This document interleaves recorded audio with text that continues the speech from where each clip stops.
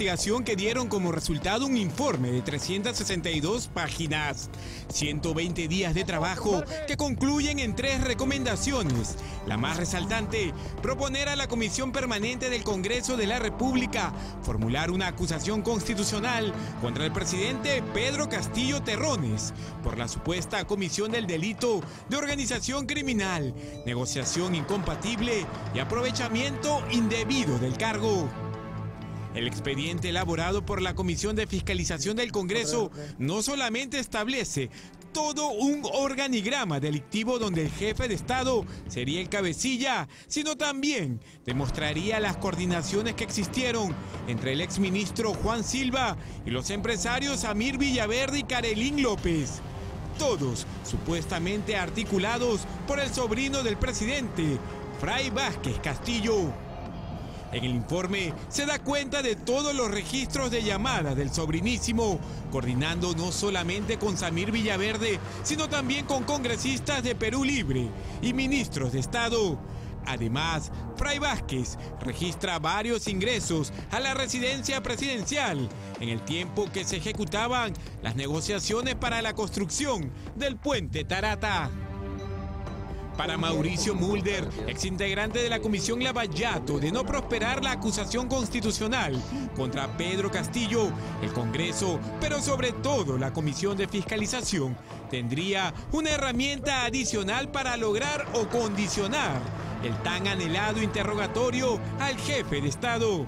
Frente a esas circunstancias, eh, el Congreso de la República tiene un arma adicional, que es simplemente declarar que como Castillo se niega a recibir a la Comisión de Fiscalización y se niega además a contestar las preguntas cuyo pliego se le debe mandar, es pasible de ser declarado eh, incapaz moral y por lo tanto tiene que ser destituido con la votación de los parlamentarios. Esa sería la única fórmula. Desde el 5 de enero al 15 de junio del 2022, la Comisión de Fiscalización recogió las declaraciones testimoniales y documentales no solamente de los cinco investigados, Pedro Castillo, Juan Carrasco Millones, Carolín López, Samir Villaverde y Fray Vázquez, sino también de testigos claves. Si la Comisión de Fiscalización ha pedido facultades de comisión investigadora, entonces sí le corresponde eh, levantar secretos y hacer apremios. Eh, eh, porque como simple comisión no lo podría hacer y por lo tanto para poder avanzar en el tema necesita tener esa, esa facultad y convertir al señor Castillo en investigado.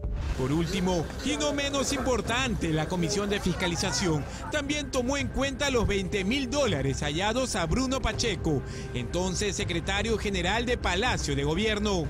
Sobre este punto, el grupo de trabajo que preside el fujimorista Héctor Ventura señala que el dinero encontrado en un baño sería producto de coimas o cupos que habrían sido cobrados a oficiales de la Policía Nacional y del Ejército Peruano a fin de ayudarlos en el proceso de ascenso realizado en el 2021.